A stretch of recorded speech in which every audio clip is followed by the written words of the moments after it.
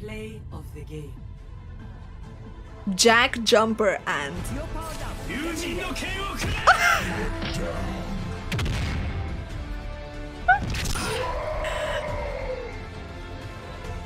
I need healing.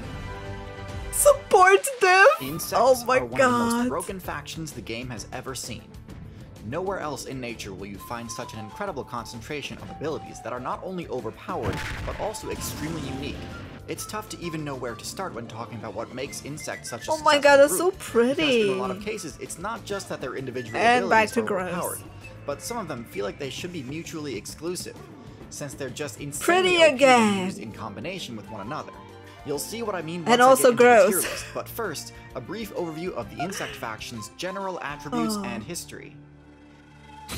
Insects were added to the game during the early Carboniferous expansion. The devs bumped up the atmospheric oxygen level, which allowed members of the Arthropod faction to adopt larger sizes and more costly abilities. And while most What of the, the Arthropod player base was trying to dominate the land by leveling up their Oh. size, a small oh! offshoot of the crustacean player base opted to forego the Prey slaughter. and instead used this oxygen bonus to Oh unlock god, an that's so ability never before grotesque. seen in game, flight. Because these new creatures Ew. were the very first to gain the ability to fly, the air became Insects entirely their domain can be so being, gross. and would remain that way until reptiles unlocked the ability several expansions later. Insects are extremely diverse in their abilities and stat spreads. In fact, they're so diverse that it's impossible to include them all in a single video. I'll be keeping things fairly generalized, but truth be told, many of the groups I'll be discussing today have so many standout members that they could easily be an entire tier list in and of themselves. They're So so it's a little tough to gross. Some of them are cute, but a lot of them are gross. Being members of the Arthropod faction, all insects are granted the exoskeletal armor perk, which greatly raises their AC compared to soft-bodied builds. I have never seen a sizes, grasshopper so close. A massive reduction in those defensive Ew. stats for a short time Ah. every time the player That looks up. like This makes insects Jell-O. quite tanky on average, allowing them to excel in combat. The insect build also has What the access to the compound eyes perk, Yo, those eyes look so cute and cool. Like scorpions and centipedes. With 360 degree vision, their ability to avoid obstacles, dodge attacks, and pursue targets while flying is far superior to most other flyers. This enhanced perception perk is important because insects Yoink. tend to have naturally high stealth. So in order to compete with other insects, Oh my god, look at that. vision is required. We've only just scratched the surface of the insane abilities insects have access to, though. For a more in-depth look, let's get into the tier list. At the bottom of the tier list, we have the silverfish. The silverfish is the most primitive insect build still in existence. It kind of blurs the line between what is and is not considered an insect, and not in a good way. All I know about silverfishes is they're Minecraft.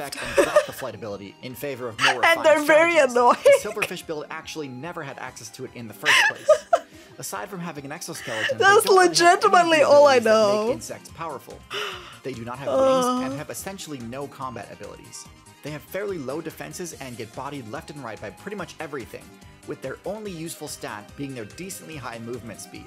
Their special ability allows them to gain XP from eating cellulose and lignin, meaning they can farm XP from wooden structures, which normally don't grant any Uh-huh. experience. This ability would be fairly powerful in forest biomes, but because they're such weak combatants, they tend to actually stick to urban Silverfish is real. I thought Minecraft made that up.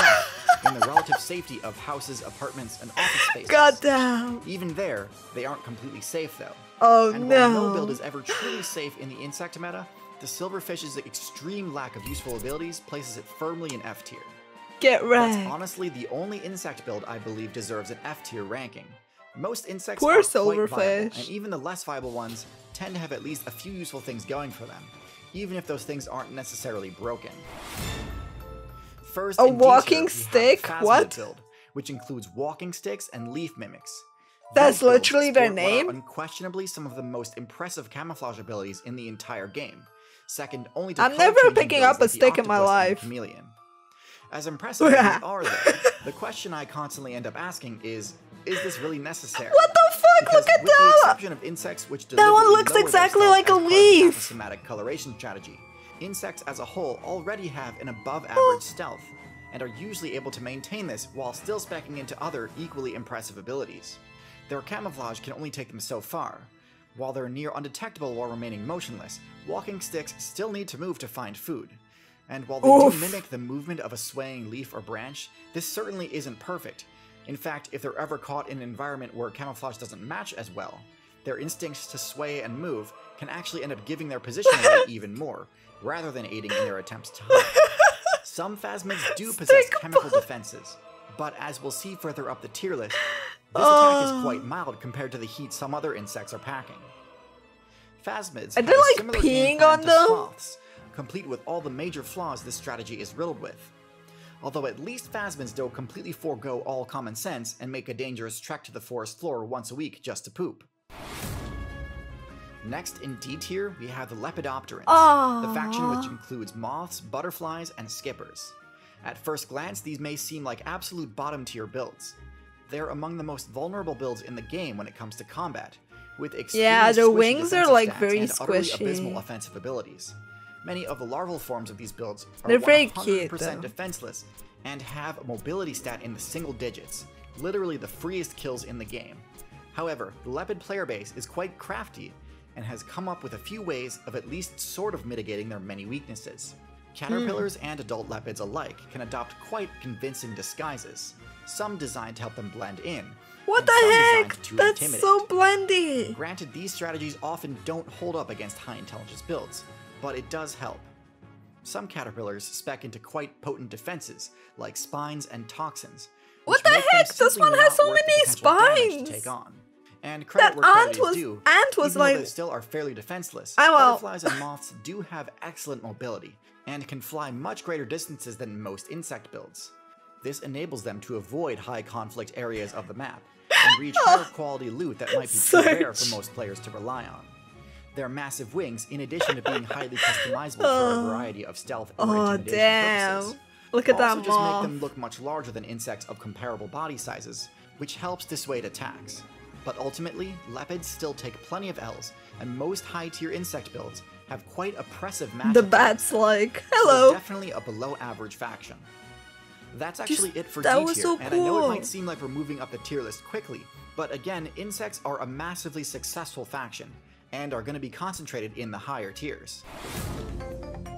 Oh the bottom of C tier, we have the no! cockroach. Oh, pure back Cockroach chaff. is the I, ultimate I, survivor. I have something to do until this is done. and a multitude of elemental resistances in lieu of any Fuck cockroaches. While they don't pack much heat, They're their flat shape allows them disgusting. to easily wedge themselves into locations that are extremely difficult for other players to attack them in. They're rather clumsy flyers, but they do have. if we suffer, you suffer with us. Not enabling them to fair. quickly scurry to cover if they see a predator player approaching. However, when caught out in the open or backed into a corner, they're fairly helpless and easily one of the most vulnerable builds in the entire insect faction. They're also somewhat carried by human Slap. making temperate and tundra servers viable for them. Because really, as impressive as their toxin and radiation resistance abilities are, they're quite vulnerable to the cold and would still be mostly confined to jungle servers if not for humans unlocking What fire the heck? ability. Ah, The biggest variance may be able to tank crunch. one or two hits, but even then, with no way to fight back, they're still pretty screwed if they fail to outright escape a fight. Next in Not the we have the Earwig, earwigs. a fearsome-looking generalist build. My parents scared to the shit out of me with them. mandibles on its rear end, called cerci. As fearsome as these cerci forceps are, if you actually check the Earwig's base stats, we quickly notice Gross. that, just like all of its other stats, its power stat is actually quite mediocre. As menacing as yeah, yeah, stop showing it crawling, I'm deal is fairly scared. And can even be deflected by the most basic of armor. And even oh. against builds without armor, the damage is so low that larger builds still don't really need to be wary of approaching an earwig, and can attack without That animation. Still, just because they can doesn't mean they do, as the earwig's intimidation factor alone is oftentimes enough to protect it from conflict. And credit where credit is due, the forceps are actually fairly decent in matchups against soft-bodied insects, and allow the earwig to carry their targets much better What than the they could with their fuck? jaws. Holding it with a And tail and eating with the other one. Rear-facing weapons instead of the more typical forward-facing ones like mandibles and rostrums. The position does actually serve a purpose, in that it allows earwigs far greater access to burrows and tight spaces, where they Like our hide out ears. avoid conflict altogether. All the weapons insects have access to, cerci might be some of the most unorthodox, which probably contributes to its ability to intimidate God other damn. players. However, I think to get out of mid tier, I'm earwigs need to intimidated already. Have the ability to back up their threat display. They would do well to spec into some sort of venom. Venom infused stings are a fairly Oh, common come attribute for on, insects, so this feels like a bit of a missed opportunity. So, while certainly a viable mid tier, don't overestimate this build's abilities. Who At wants to be an earwig player? Including grasshoppers, crickets, and katydids. These are the first mobility-centric builds on our list. While they're quite capable flyers, their true power comes from their saltatorial hind legs rather than their wings. Flight is an excellent defensive ability, as it allows the user to get out of reach of an attack's range. But Are they body blocking with their wings? Their ability to get airborne has too much startup lag, and so instead of using their wings to get themselves up into the air, a powerful jump enables the Orthopteran mains to escape vertically at instant speed. Their excellent vision makes it extremely difficult to get within striking range without alerting them, and because their jump has such excellent frame data, landing an ambush strike on an Orthopteran can feel near impossible at times. Oh, And even if a oh, player does manage to secure a grab, their powerful hind legs can function as quite an effective combo break. Oh! The Oh, spines on their legs augments the damage their kicks can deal. holy meaning that if a moly, those can the first few hits of an ambush attack, they may be able to turn the tide of a confrontation and escape after dealing serious damage to the attacker. With that said, I think there are a few flaws in their Boing. strategy which I think keeps them out of the upper tiers.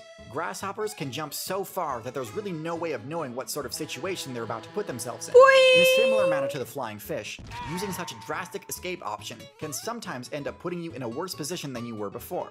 Especially if your local meta has a lot of spider players, and although they do present a challenge, most predator players aren't disrupted by the grasshopper's kicks, and can either tank the damage outright or one-hit the grasshopper before it even has a chance to retaliate.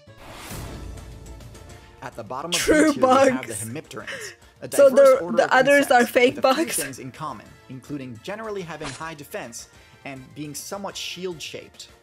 However, Aren't the those like the stinky bugs? Rather than slicing or pinching mouth parts, the Hemiptera build opts for a piercing rostrum, perfect for puncturing through tough surfaces. I recognize those. You don't fight those.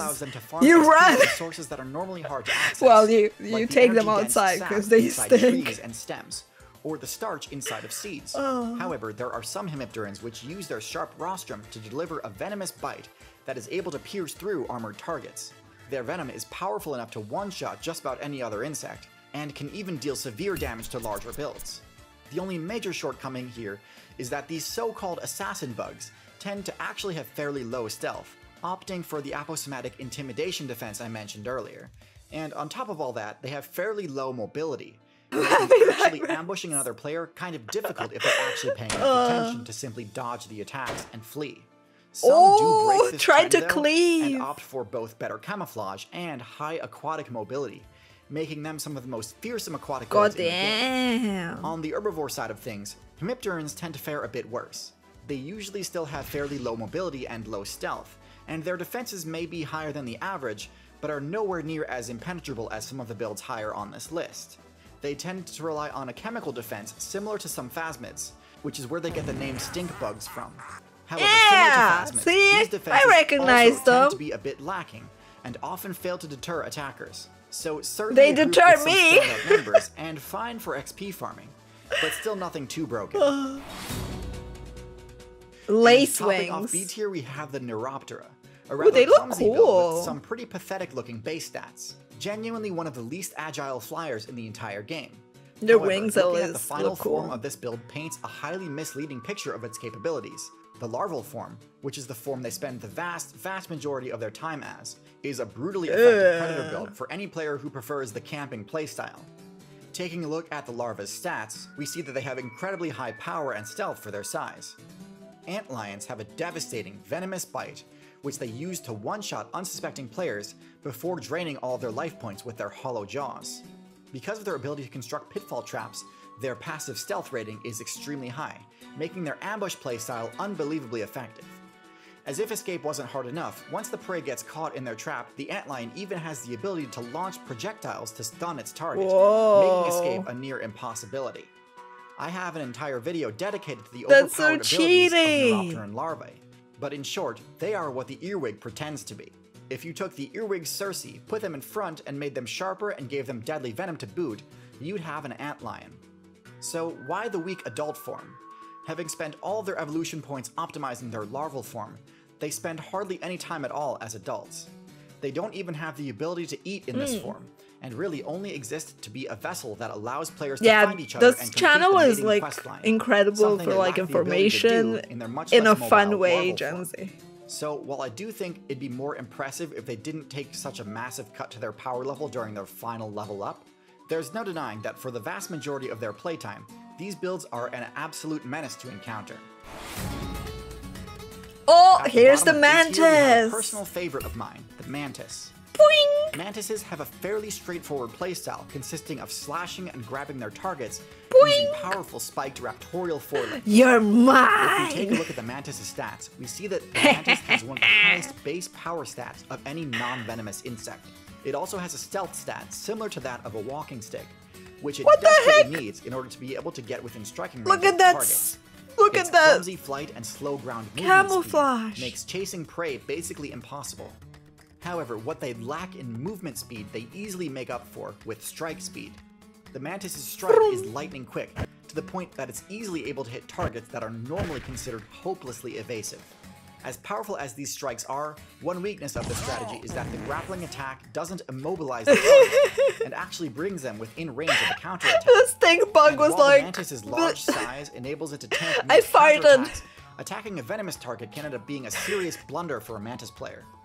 So definitely a powerful high tier predator, but not one that's so invincible that mantis mains can get careless. the poison. Next in A tier we have the flies. This Oh, does get a bit shit. confusing due to Seriously? the amount of other bills that use the word fly in their name. But this group, the true flies, are defined by a very specific feature. True flies only have two wings. This might seem like a major trade-off, but while it does leave them more vulnerable to having their flight ability disabled from taking damage, the perk they unlock in return is more than worth the risk.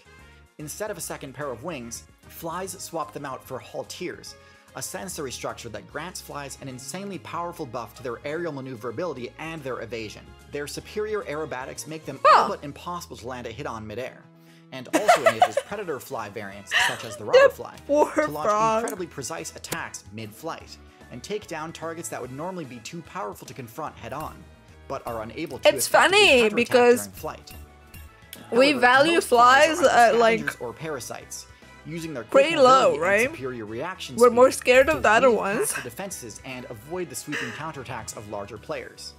It's kind of While funny to see them on the tier list very high. There's no denying that they make the most of the time they do have, and are one of the most efficient and evasive builds in the entire game.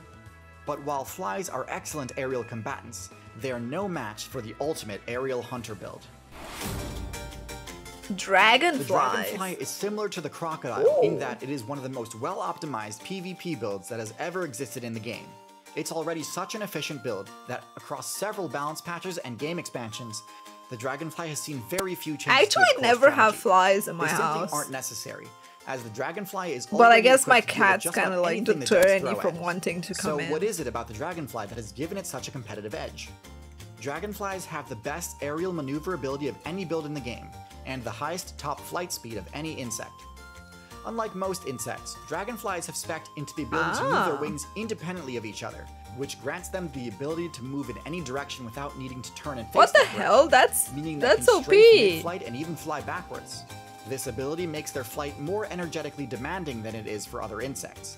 So this is a high commitment, high reward playstyle. In order to ensure a proper payoff for their incredible agility, dragonflies have also spec'd into what is arguably the best vision of any arthropod. Extremely large, high-resolution eyes that take up basically their entire head, granting them full 360 degree vision. This allows That's them to track all potential targets around them with ease, and allows them to see attacks coming long before they're actually at risk of getting hit. Unlike many of the other builds on this list, which either have a powerful larval form but a weak adult form, or a powerful adult form that can only achieve this after enduring an extremely vulnerable No, like they their the eyes are all around. Is a high tier predator in both forms. While everyone knows they dominate the skies when they reach their max level, what you might not know is that as nymphs, dragonflies are one of the most vicious aquatic builds in the game, able to one-shot similarly sized fish and amphibian players. Now, while it was tempting to put dragonflies in S tier, they do have a few shortcomings. While they are generally able to see approaching predators before it's too late, they aren't particularly good at avoiding accidentally flying into dangerous situations. Oh. They're easily trapped by spiderwebs and are often snatched out of the air when flying too close to another player. In addition, dragonflies cannot walk, meaning that their energy expensive flight ability is their only option if they need to reposition themselves. Not that devastating of a weakness, but it's enough that this ancient build can't quite break into S tier. The First tier, Beatles. we have the beetle. The beetle is the epitome of the insect build. A bunch of extraordinarily powerful band. abilities that seem like they OP. shouldn't really function properly when used in conjunction with each other, yet somehow actually end up synergizing unbelievably well. Beetles are the premier tanks of the insect faction, with an outer cuticle sturdy enough to deflect just about any attack with ease. It has such a high AC that it can confidently plow through a swarm of aggressive ants without taking Goddamn, any look at that armor. something that even many reptiles and amphibians can't get away with. Now, typically, when a build is heavily invested into defenses like this, it It's like a sacrifices we're watching an stats. insect tier list. This is the opposite of what we see in the beetle build, as in addition to being the most heavily armored insect in the game, it also excels in several They have so metrics. much The armor. most Holy obvious of which is its power stat. Beetles can obliterate their enemies in combat using powerful jaws and explosive chemical weapons. Their ability to bulldoze What do you mean explosive chemical weaponry is hard to weapon? overstate. But in my opinion, their real damage potential comes from beetles which possess the ability to blast their attackers with a toxic or acidic chemical burst. Why is it the stops, because although you'd probably expect a high power tank to be a slow, lumbering build, beetles also possess the top terrestrial movement speed of any insect. And if that weren't enough, despite often having heavy horns or giant mandibles, Beetles were your tank full of phobia? Really? being clad in heavy armor and strapped with enough muscle to move objects What far, the far above their weight class, the beetle is still able to fly without much issue. Now, they did sacrifice one of their sets of wings for additional armor, so they can't perform the advanced aerobatics that dragonflies and houseflies can. But the ability to get from point A to point B via flight is still extremely valuable, both for escaping danger and for reaching valuable points of interest. In short, beetles have essentially every ability they could ask for. They are an amalgamation of everything that makes the insect faction so powerful, and so it's no surprise that beetle species comprise a whopping 25% of all species in the game. Holy They're so moly. versatile and adaptable that a beetle player can find a niche in essentially any server. They truly are the ultimate insect and deserve a tier list of their own. As incredible as this combination of powerful abilities is, ultimately the beetle is still lacking the most powerful insect ability of them all, eusociality. Now, I have an entire video dedicated to explaining just how broken this ability is, and there's no question that the insects that incorporate it into their game plan simply Uh. dominate all in their path. Now, Termites, oh termites are a variant of the cockroach, Terrifying. but they have such a unique and powerful playstyle that lumping them in with mid-tier cockroaches seems disingenuous. The termite queen is the longest-lived Oh insect in god. Look with at a that. lifespan near that of a human or elephant. Isn't she beautiful, and it child? spends these many The queen in her own one of the most right. Powerful armies the game has ever seen. These Keep that away from me. Are able to construct some of the most well-fortified bases in the She game, fake. giving even beaver dams and human skyscrapers a run for their money. Not only do they build incredible bases, but termites literally transform the map in order to better optimize their colony's ability to gather resources. They will Dude, paths and build ramps and bridges to important resource deposits. Termites are This crazy and allows their them to support a huge army and command vast territories. Termites, despite being most closely related to cockroaches, have a combat style that is actually most similar to the spitting cobra, which, if you've seen my snake tier list, you'd know is also a top tier build. Termites can accurately fire acid from a needle like horn on their face, dealing heavy damage to anything caught in its blast. Some termites opt for giant slicing jaws instead of acid sprayers on their head, and are crucial for defending their base from an onslaught of invaders. I'm just like, what the heck? With crazy powerful forward-facing weaponry, but extremely vulnerable abdomens with no armor at all. This means that oftentimes, despite a larger size, they are quickly overwhelmed if they get outnumbered and flanked.